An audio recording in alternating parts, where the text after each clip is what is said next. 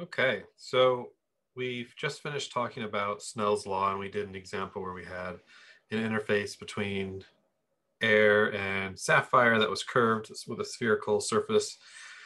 Um, and you could go the rest of your life just using that, and it would work. but it quickly gets out of hand. Um, each lens has two surfaces, and often we're dealing with um, we're just dealing with uh, parallel beams of light. Um, and we care about where the, the, the lens focuses that parallel beam of light, i.e. its focal point. Focal point. Um, the focal length, oops, focal length of a lens is the distance from the lens to the focal point. So if we have a lens here, let's draw our rays.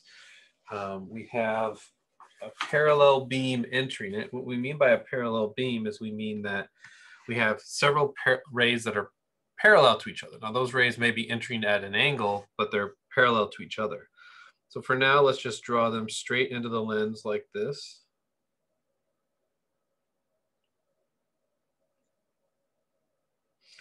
And then the lens, and ideally, right, this is what they're designed to do, is to take this and focus it to a point like that. So I drew the point first because otherwise I'm not going to be able to get them all to meet at the same spot.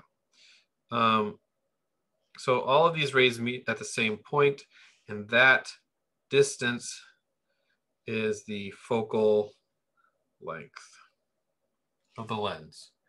And this is the focal point. Okay, great. So um, rather than doing ray tracing for each one of these lenses, right, we could go in here and be like, all right, what's our angle? Here, that theta, then that theta, and then that theta. All right, then I do this one and this one. We can assume that the lens is well made um, and we can make a couple other very important assumptions.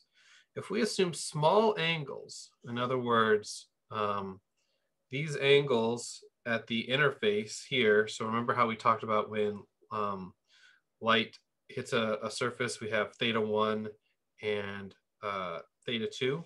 As long as theta 1 and theta 2 everywhere is small, then n1 sine theta, n2 sine theta into sine theta 2 um, can be approximated by n1 theta 1 is equal to n2 theta 2.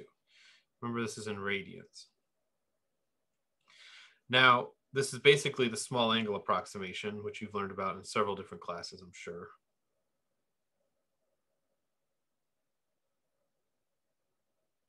Um, the small angle approximation, and it works better the smaller that theta is, right? Uh, as soon as theta gets within a few degrees, the errors start to really add up.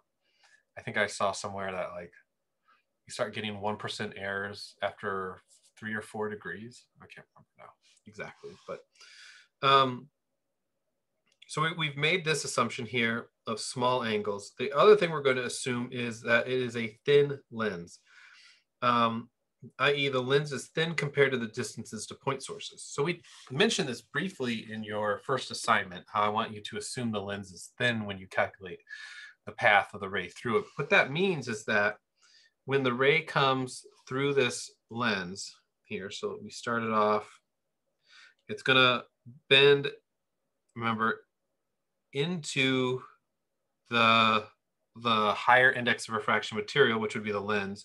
So it goes down. And then we do, oops, we do the same thing here. And that goes like that. So this distance in height, this h, has to be small compared to the other distances in the problem. Um, in practice, what that means is that, um, you know, if your lens is, uh, well, lenses and focal lengths, right? So if your focal lengths are on the order of uh, 300 millimeters, this distance in here needs to be like less than a millimeter or so. It needs to be very small. And in practice, they are. If you have, if you are, um, uh, if you are satisfying the, the small angle approximation with your rays, then the, the amount that they deviate is from their path is not going to be very small. And so the change in height within a lens, in most lenses, if they're if they have small amounts of curvature, so if they're not, if the radius of curvature here is um, relatively large, r is greater than um, probably 200 millimeters. As long as r is relatively large, then your rays are not going to deviate that much with um, at all within the lens. So as long as you're holding to the small angle approximation, you're probably satisfying the thin lens um, approximation as well. But what it means is that we basically ignore this change in height. What we do is we uh, apply Snell's law twice, once here and once here, and we assume that the ray actually just translates in Lee and doesn't change height here at all. Um, and instead, we approximate the lens as a single plane where it has two deflections at the same spot, okay? All right, if we do that, we apply those do a bunch of rearranging, we get the lens maker's equation. What the lens maker's equation says is that one over F, so one over the focal length of the lens is equal to n minus one times 1 over R1 minus 1 over R2. Yeah, so knowing the radius of each, this is R1, this is R2, so let's make them capital, R1 and R2. So the, knowing the radius of curvature of each lens and the index of refraction of the lens itself, N, um, knowing those three things, we can plug them in here and solve for the focal length of the lens. Sign convention on this is crucial. Um, so the way you get this right is assume that light is coming from the left. Okay, light is coming from the left and going to the right. Um, and you draw a uh, draw a vector from the cur the surface, the um, spherical surface of the lens towards its center. So let's do that this way. So here we have, here's one, and here is two, right? So this, and then we start from the left and go to the right. This is R1 and this is R2. If the, if the radius is pointing in the negative X direction or negative Z, whatever the negative direction to the left, then that radius is negative when we plug it in. If it's, if it's pointing to the right, then it would be positive. So looking at this uh, lens right here, we have uh, R1 is equal to 150 millimeters. R2 is equal to 50 millimeters. These are not drawn to scale.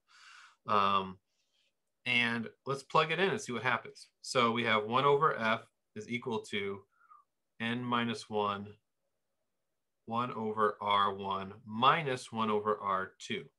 So now let's plug in all of our the things we know because we know n, we know R1, and we know R2. 1 over f is equal to n minus, oh, we know n. Let's, let's plug that in.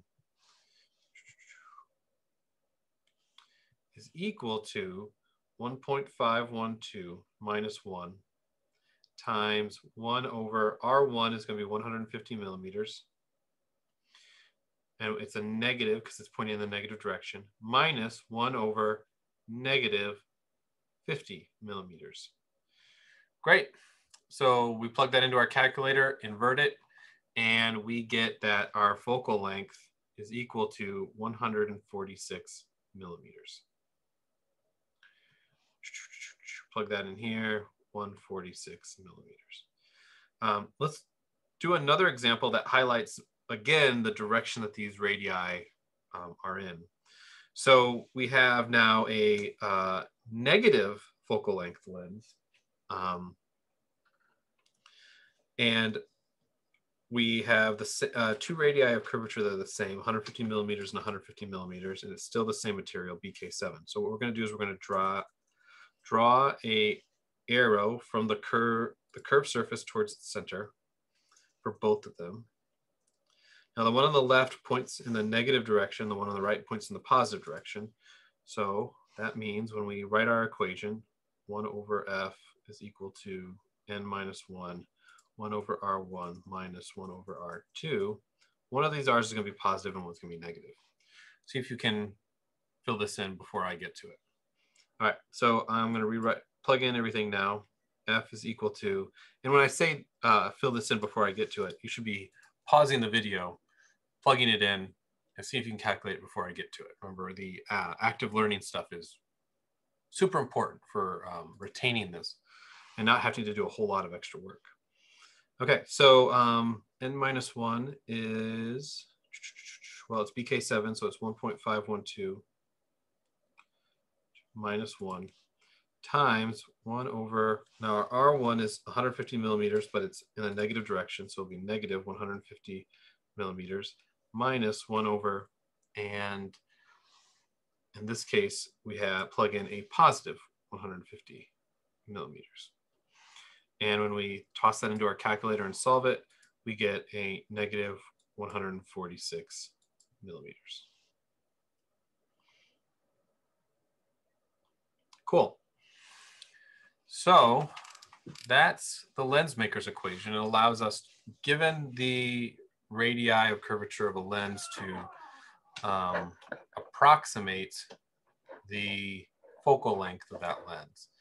Um, now I keep saying approximate. We're going to find out that this is not terribly accurate. All right, but we're going to do some practice on this first. So